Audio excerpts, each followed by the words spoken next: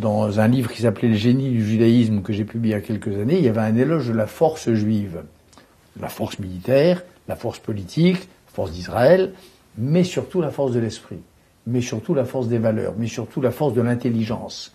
Être juif, c'est avoir rapport à, un texte qui est le texte qui est, le texte le plus intelligent qui soit. Voilà. Pas la Torah, la Torah bien sûr, mais le Talmud.